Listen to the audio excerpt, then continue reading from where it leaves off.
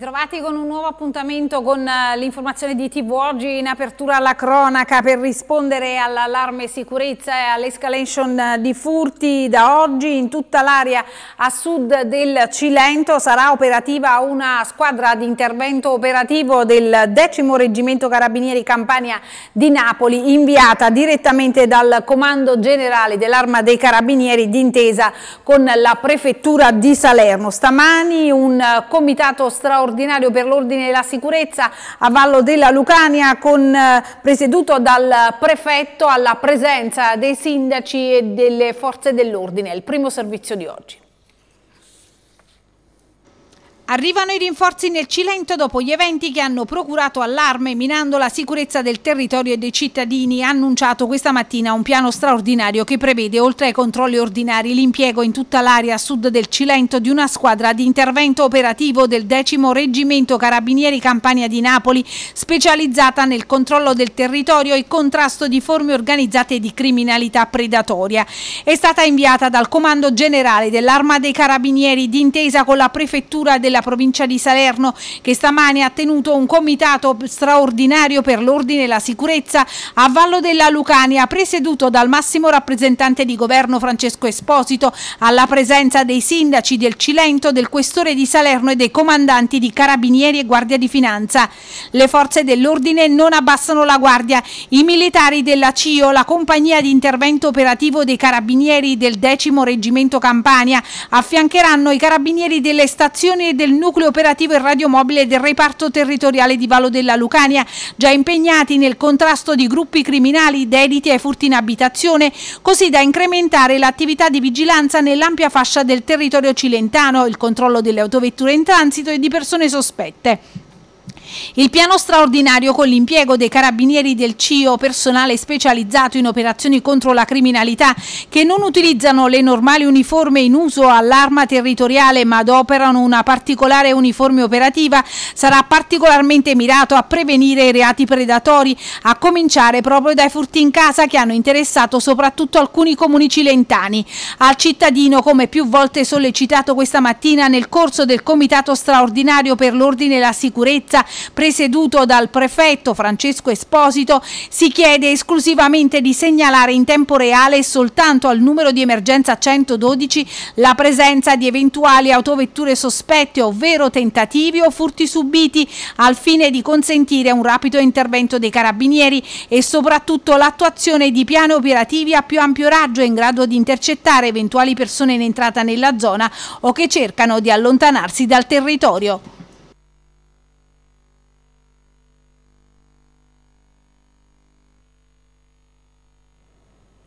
Presumibilmente un malore la causa della tragedia che si è consumata questa mattina al Molo 3 gennaio del porto di Salerno. Un 49enne salernitano pescatore è stato trovato privo di vita a mare. Il servizio.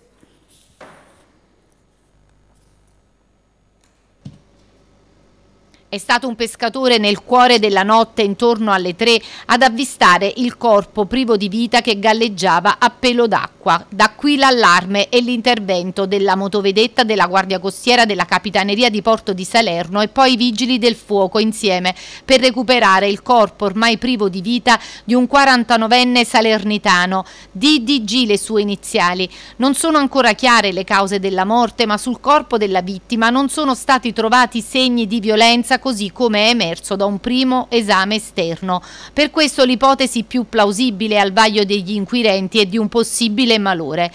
Sulla sua morte sta indagando la squadra mobile di Salerno coordinata dal pubblico ministero Cardillo che ha disposto anche un'autopsia sul cadavere della vittima. Secondo una prima ricostruzione l'uomo si trovava a bordo del peschereccio che è di proprietà dello zio quando è caduto in acqua.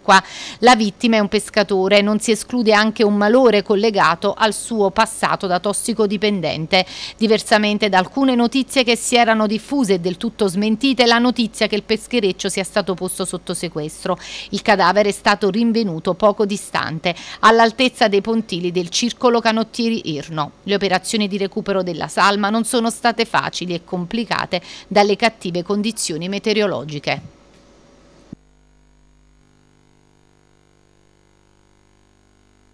I finanzieri hanno invece sequestrato in eh, provincia di Avellino lo studio di un falso dentista di Mercato San Severino. Nel corso di una serie di controlli contro l'evasione fiscale e l'abusivismo i finanzieri hanno scoperto che l'uomo, un 58enne, esercitava illecitamente la professione di dentista. Sentiamo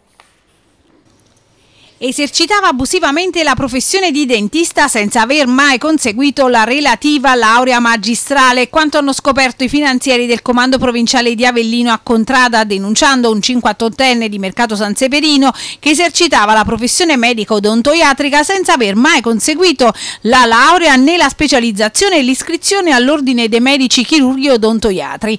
Le fiamme gialle del gruppo di Avellino dirette dal maggiore Papis hanno individuato e sottoposto a sequestro uno studio dentista dentistico. Nel corso dell'intervento i militari hanno constatato la presenza di un riunito dentistico di attrezzature e strumentazione specifica per la professione odontoiatrica e di altri materiali ad uso dentistico, farmaci, nonché documentazione varia. Tutto il materiale trovato nello studio, compresa la documentazione, è stato sequestrato dai militari che ora stanno cercando di ricostruire il volume d'affari dello studio abusivo per il recupero a tassazione degli introiti illecitamente accumulati e sottratti all'imposizione fiscale.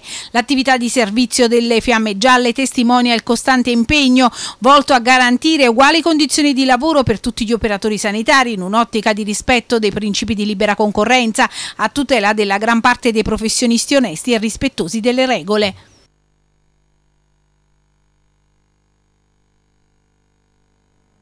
E ci occupiamo ora di sanità, ci sono forti perplessità e timori da parte di lavoratori e sindacati sul futuro della riabilitazione dell'ospedale Giovanni da Procida di via Calenda, fermo per i lavori che dovranno trasformarlo in polo regionale della riabilitazione. Nel frattempo solo 10 posti e pochi spazi possono rappresentare la fuga presso i privati. Stamani un incontro promosso dalla CGL all'ospedale all'ospedale Ruggi d'Aragona di Salerno.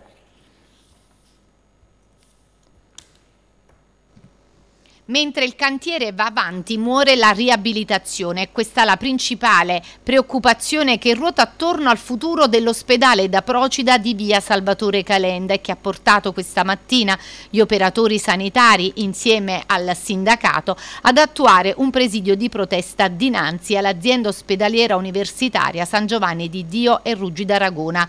Con i lavori in corso sono infatti stati ridotti a 10 i posti letto destinati alla riabilitazione pubblica pubblica, ma essere stati notevolmente limitati sono anche gli spazi disponibili per fare riabilitazione. La protesta fa seguito ad un primo confronto con la direzione generale dove già i sindacati ebbero modo di esprimere le criticità evidenziate a partire dalla riduzione da 20 a 10 posti letto più 4 in day hospital. A fronte anche del reparto ridotto, il sindacato chiede di poter utilizzare l'ottavo piano della torre cardiologica di Salerno, ma nessuna risposta è ancora arrivata. Il il rischio è che in questi anni di attesa si finisca per disinvestire sul ruolo pubblico della riabilitazione, sminuendo e diminuendo le attività ora presenti, andando ad incoraggiare gli utenti verso il sistema di assistenza riabilitativa fornita dai privati. C'è un anno che stiamo chiedendo alla direzione strategica dell'azienda ospedaliera di eh, attrezzare un reparto adeguato per mantenere questa attività è un anno che non ci rispondono, è un anno che evitano il confronto sia con le organizzazioni sindacali e sia con i rappresentanti dei lavoratori che la sicurezza. Insomma fare del, da Procida un polo della riabilitazione regionale rischia di restare solo un sogno?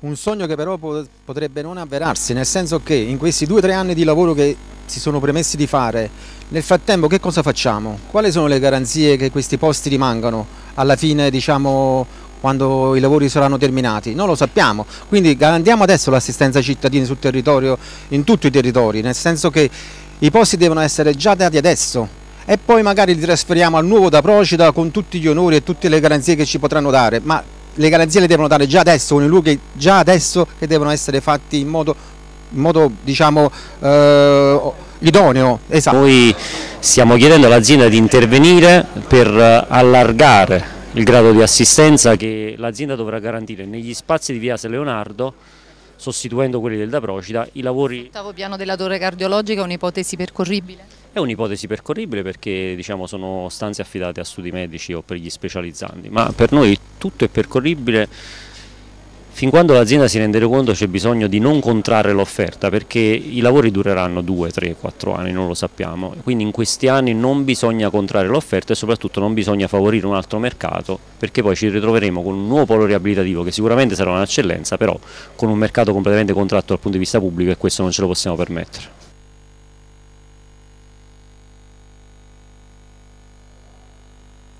Si cercano nuovi atleti da inserire negli allenamenti per il campionato in corso, ma si punta a creare per il prossimo anno una scuola calcio per persone con e senza disabilità. È l'impegno assunto questa mattina dalla Fondazione Anfas di Salerno e dalla Polisportiva Baronisti nel corso della conferenza stampa alla presenza degli atleti che stanno partecipando al campionato regionale Il calcio è di tutti nell'ambito della competizione nazionale nazionale organizzata dalla Divisione Calcio Paraolimpica Sperimentale della FIGC che vede in campo persone con disabilità. Sentiamo. Nato come strumento per l'integrazione sociale delle persone con disabilità, l'uso dello sport è diventato una vera e propria sfida calcistica per la Fondazione Anfas Salerno Giovanni Caressa Ollus che, in collaborazione con l'ASD Polisportiva Baronissi, ha iscritto e sta partecipando al campionato regionale Il calcio è di tutti, una competizione organizzata dalla Divisione Calcio Paraolimpico Sperimentale della FIGC che vede in campo atleti con disabilità. Oggi in una conferenza stampa la presentazione dell'iniziativa e l'imbocca al lupo per gli speciali atleti. L'Anfas è alla ricerca di nuovi atleti da inserire negli allenamenti, ma coltiva anche un sogno nel cassetto. Salvatore Parisi, come ha detto nel corso della conferenza stampa, un'ulteriore occasione per mostrare come lo sport diventa una forma di integrazione, quasi insegnano anche a rispettare le regole attraverso il campo. Eh sì, perché partecipando ad un campionato vero le regole deve insegnarle. È un momento veramente che parte un po' da lontano, noi abbiamo fatto un'esperienza nostra interna, abbiamo preparato la squadra già da qualche anno, poi eh, si è aperta questa possibilità che abbiamo colto col Presidente Seniscalchi di, di partecipare ad un campionato vero ed è un'esperienza straordinaria per i nostri ragazzi perché vivono il momento pre-gara, mm, anche post-gara. Abbiamo sentito anche grande entusiasmo. Certo, c'è la tensione vera della gara, insomma, quindi adesso dobbiamo capire perché è un campionato comunque eh, dove è vero l'inclusione ma nessuno vuol perdere, quindi noi neanche cercheremo eh, eh, nei mesi prossimi anche di organizzarci dal punto di vista proprio atletico, agonistico, eh, abbiamo detto col Presidente vorremmo, vorremmo cercare di mettere su una, una, leva, una scuola calcio insomma, per quelle persone con disabilità giovani in modo che possano poi fare da bacino e, fare, e creare la squadra negli anni prossimi competitiva di persone con disabilità. Che... Seguito l'esempio della SD Baronisti. Assolutamente sì, assolutamente sì, io sono contento che si sia aperta questa possibilità anche in una, eh, in una cittadina insomma, dove ha sempre visto protagonista l'Anfas, la fondazione con molte famiglie, quindi portare la cultura delle persone con disabilità e della disabilità anche fuori dalla città di Salerno per noi è un momento straordinario. Quella che era iniziata come un gioco, come una forma di ulteriore integrazione per eh, eh, aiutare questi ragazzi è diventata una vera e propria sfida sportiva. Assolutamente sì, abbiamo colto l'invito della federazione e ci siamo iscritti al campionato paralimpico della FIGC, una sfida importante che eh, per noi uomini di sport non fa altro che aumentare la voglia di superare le barriere e eh, di portare questi ragazzi a divertirsi con noi sui campi di tutta la regione Campania. Il Presidente Parisi ha aperto il, il, cassetto dei sogni dicendo arrivare proprio alla creazione di una vera e propria scuola calcio. Assolutamente sì, col Presidente siamo al lavoro per lanciare già dall'anno prossimo una scuola calcio che possa accogliere i bambini disabili per accompagnarli nel loro percorso di crescita attraverso lo sport e i sani valori che uh, questa disciplina sportiva riesce a trasmettere. Maurizio, sei pronto a questa sfida importante? Eh, speriamo che quest'anno almeno una partita possiamo vincere. Ma chi deve segnare in questa squadra? Io, io, io, uno di tutte e due. Spero che abbiamo altri giocatori in campo, però bisogna fare una squadra nuova noi, di baronisti, perché se no con noi due non ce la faccio. Bocca al lupo, come si dice? In bocca al lupo, crepi il lupo. Grazie, bocca al lupo. La Regione Campania ha varato un ambizioso programma di investimenti in edilizia ospedaliera e attrezzature sanitarie destinando una somma di oltre 2 miliardi di euro per potenziare le strutture mediche del territorio regionale. L'annuncio proveniente dal governatore della Campania De Luca ha suscitato il plauso da parte di Tommaso Pellegrino, capogruppo di Italia Viva in Consiglio regionale che garantisce di vigilare su eh, quanto è stato annunciato. Sentiamo.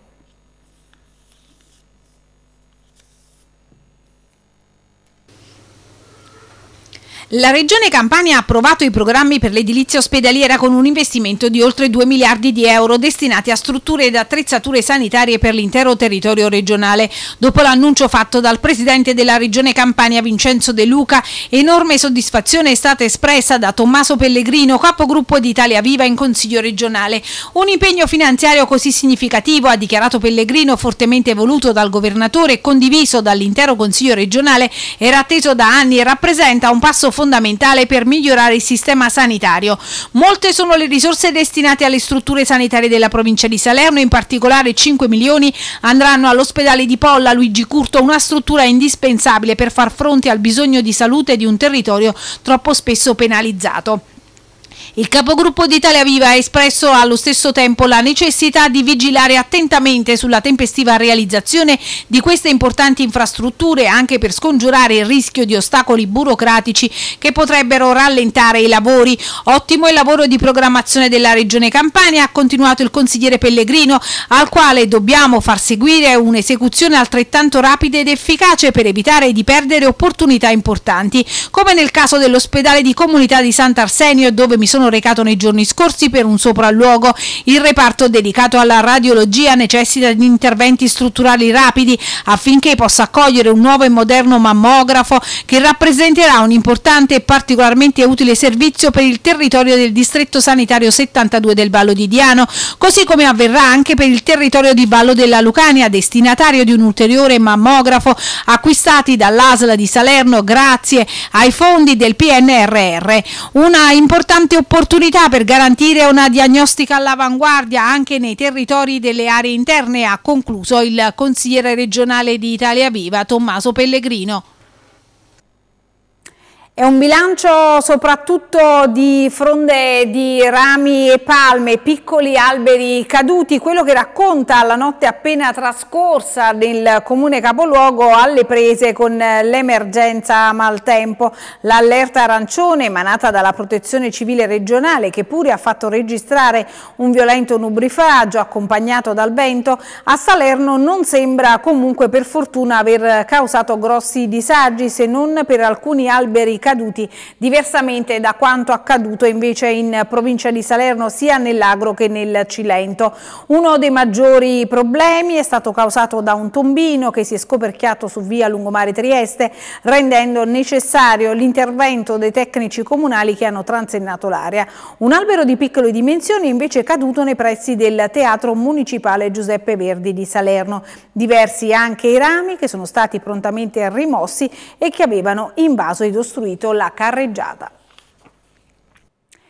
E continueremo a sfogliare insieme il nostro telegiornale, parleremo di sport, oggi è il giorno di Liverani, ma ne parliamo tra pochissimo dopo la pubblicità e non prima di aver visto insieme cosa ci riservano le previsioni del tempo. In collaborazione con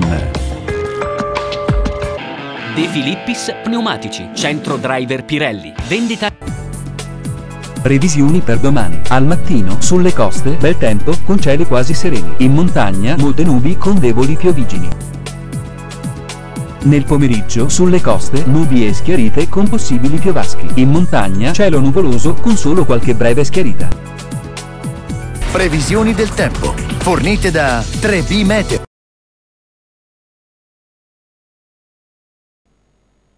E siamo alla pagina dello sport, oggi è il giorno di Liverani, dopo la sconfitta interna con eh, l'Empoli la Salernitana ha deciso per la seconda svolta tecnica della stagione. Fabio Liverani subentra ad Inzaghi che a sua volta aveva rilevato Paolo Sosa ad ottobre. Il tecnico ex Lecce e Cagliari torna in A dopo circa quattro anni, lo ha scelto il DG Sabatini, suo grande estimatore fin da quando era un apprezzato centrocampista. Il servizio.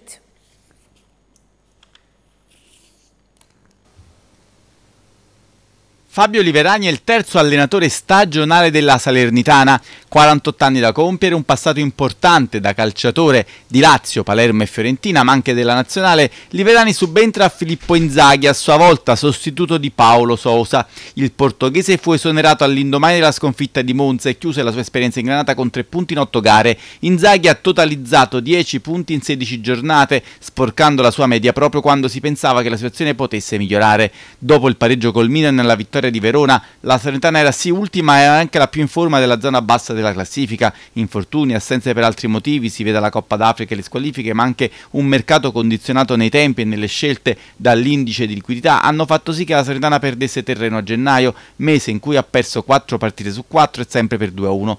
Errori dei singoli come i rigori clamorosi causati da Lovato e Maggiore o i disimpegni errati di quei mesi contro Juve e Napoli, al San Paolo non fu certo da meno l'intervento avventato di Fazio che causò il rigore del pari azzurro, ma anche la serataccia di Pellegrino nel finale della gara con l'Empoli, alcune scelte compiute in panchina hanno condannato Inzaghi che nel complesso ha ridato condizioni atletiche ed un senso di unità al gruppo, ma non è riuscito a dare alla squadra una precisa direzione tattica, fallendo ogni volta l'appuntamento con la vittoria. Quando la Serena avrebbe dovuto fare la partita infatti sono emersi limiti e carenze, in parte da attribuirsi alla rosa, ma dall'altra riconducibili anche alla mentalità dell'allenatore piacentino. Inzaghi ha stretto un rapporto solido con gli Ervolino da cui ha ottenuto sostegno ed anche qualche acquisto sul mercato, ad esempio Perozzi ci ha messo impegno, cuore, passione ma l'impresa salvezza si è rivelata troppo grande rispetto alla sua visione del calcio. Ora tocca a Fabio Liverani, 48 anni da compiere, un trascorso importante da calciatore e pupillo di Walter Sabatini che lo apprezzava da cervello del centrocampo e lo ha seguito anche nella sua parabola da tecnico che ha conosciuto picchi impromettenti a Terni e Lecce prima di precipitare a Parma. A Cagliari l'ultima esperienza in panchina, ora la possibilità di ritornare in Serie A. Con la Salernitana dovrà compiere una vera impresa, puntandosi idee, gioco e coraggio, andando anche oltre i limiti della rosa che, sebbene non in maniera del tutto logica ed omogenea, spicca la mancanza di regista e Liverani ha sempre avuto nelle sue squadre costruttori di gioco, è uscita rinforzata per esperienza in alcuni ruoli e qualità in altri dall'ultimo difficoltoso mercato. Dare un assetto ben preciso era il primo passo per tentare la risalita, venerdì c'è l'Inter e forse non poteva esserci battesimo migliore per un allenatore che vuole rilanciarsi e che ha accettato una sfida stimolante e sicuramente impegnativa.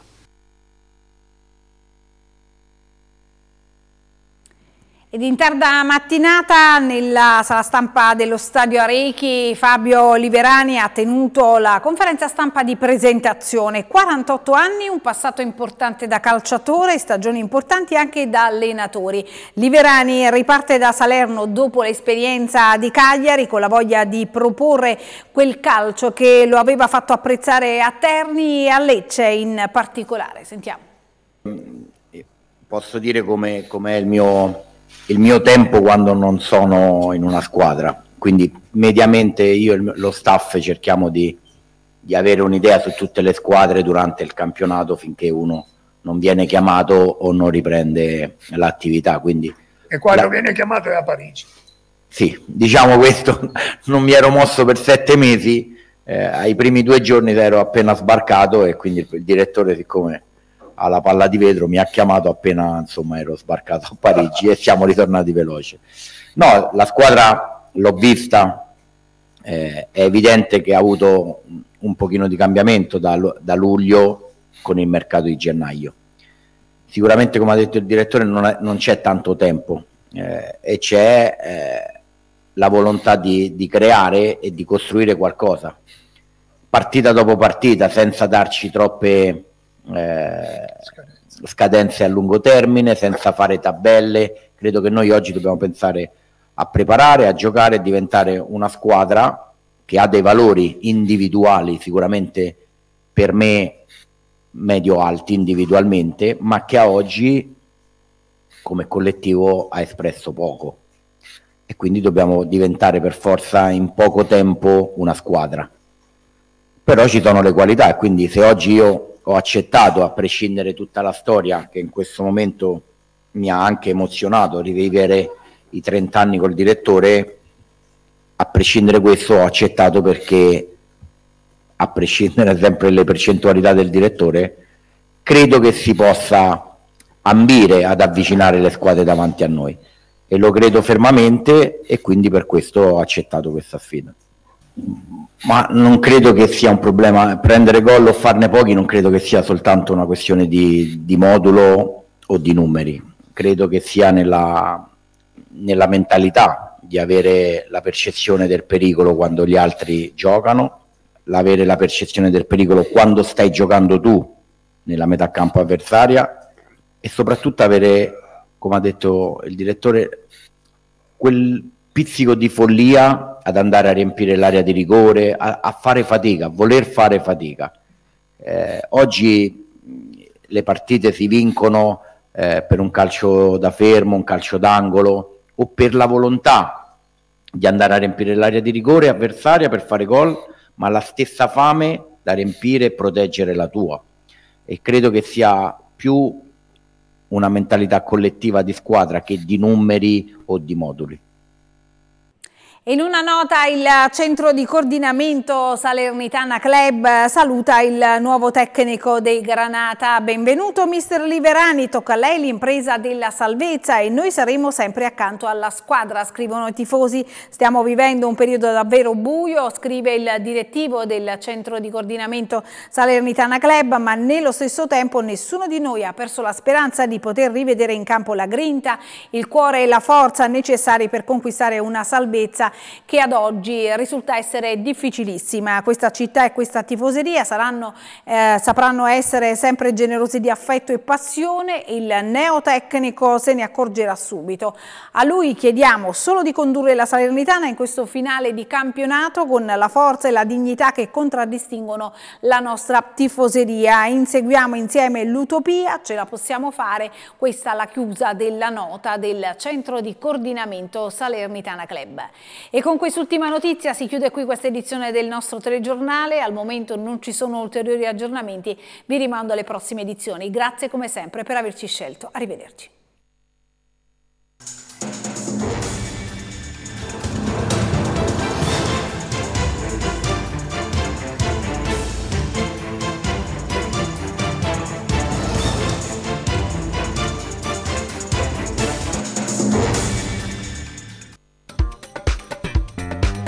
Vuoi rivedere questo programma?